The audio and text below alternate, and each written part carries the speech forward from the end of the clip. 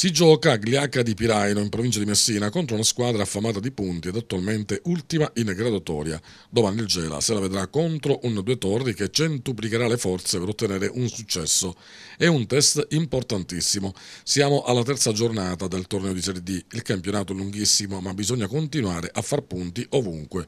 E i biancazzurri del tecnico Pietro Infantino nelle prime due uscite hanno fatto il loro compito. Pari a Pomigliano e vittoria sonora domenica scorsa contro il Sersale finale.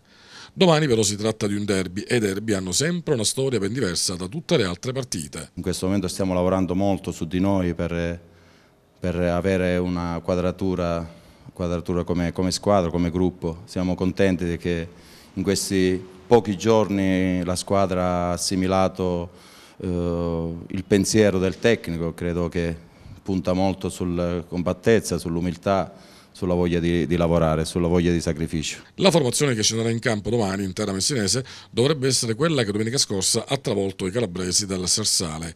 Ancora out Alma. Il gruppo sta lavorando tutti al, al, massimo, eh, se non ci sono problemi fisici credo che gli 11 che hanno iniziato hanno hanno dimostrato di, di, meritare la riconferma. Se lavorano in questo modo eh, e fanno quello che che si deve fare credo che eh, meritano la riconferma, anche se ci sono 3-4 giocatori che stanno spingendo e sono molto contento per questo.